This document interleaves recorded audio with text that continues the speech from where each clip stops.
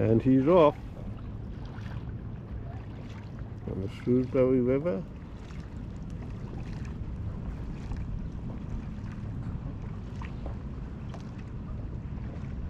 Heading towards Rocky Point.